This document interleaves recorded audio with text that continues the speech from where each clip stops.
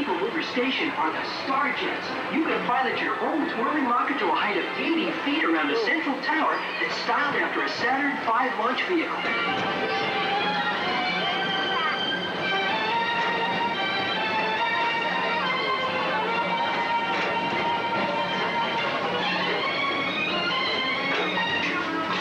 If you really wanted to fly like a bird, Well, that's almost the feeling you get aboard our Skyway off to the left.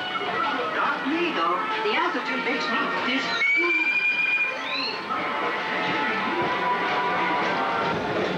From here, you can get a better look at Space Mountain. Impressive, isn't it? Well, believe it or not, at a height of nearly 175 feet, Space Mountain is Florida's third tallest mountain.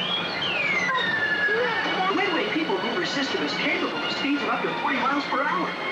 We decided to save high-speed adventures like that for Space Mountain. So we're just...